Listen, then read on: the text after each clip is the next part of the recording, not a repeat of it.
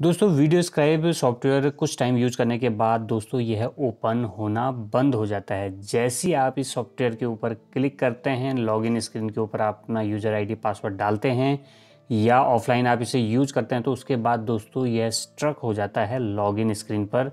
और उसके बाद यदि आप दोबारा इसके ऊपर क्लिक करते हैं तो आपकी स्क्रीन जो है वो यहाँ पे फ्रीज हो जाती है। तो दोस्तों, इस इशू को किस तरह से रिजॉल्व करना है? तो सबसे पहले दोस्तों, हम सॉफ्टवेयर को क्या करेंगे? बंद कर देंगे माई कंप्यूटर की को हम ओपन करेंगे। उससे पहले दोस्तों, यदि आपने हिडन ऑप्शन यहाँ पे इनेबल नहीं किया है तो माई कंप्यूटर के अंदर, किसी भी ड्राइव के अंदर आप चले जाएँगे। यहाँ पे जो व्यू का ऑप्शन आता है व्यू के ऑप्शन पे आप जाएँगे। यहाँ पे हिडन आइटम के ऊपर आप इस तरह से यहाँ पे चेक कर देंगे। उसके बाद दोस्तों, आप क्या करेंगे? दोबारा सी ड्राइव के ऊपर जाएँगे। यूज़र्स फोल्डर के अंदर, जो करंट यूज़र है उसके अंदर, ऐप डेटा के अंदर और रोमिंग प्रोफ़ाइल के अंदर।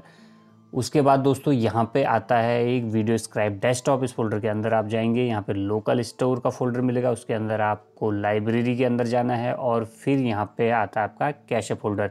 कैश फोल्डर के अंदर जितने भी फाइल्स हैं दोस्तों, ये आपको जो है सेलेक्ट ऑल डिलीट कर देने हैं। उसके बाद दोस्तों आप इस यूआरएल को कॉपी करेंगे और इसका एक शॉर्टकट आप अपने डेस्कटॉप पे बना देंगे ताकि आपको यदि नेक्स्ट टाइम ये इशू आता है तो आपको इस शॉर्टकट के थ्रू आप सीधा इस डायरेक्टरी के अंदर पहुँच जाएँगे। तो जैसे आप देख सकते हैं, मैंने यहाँ पे डेस्कटॉप के ऊपर राइट क्लिक करके न्यू शॉर्टकट क्रिएट कर दिया है और वहाँ पे इस यूआरएल को पेस्ट करके हम शॉर्टकट का यहाँ पे कोई भी नाम दे सकते हैं, चाहे तो आप यहाँ पे डिफ़ॉल्ट इसको रख सकते हैं।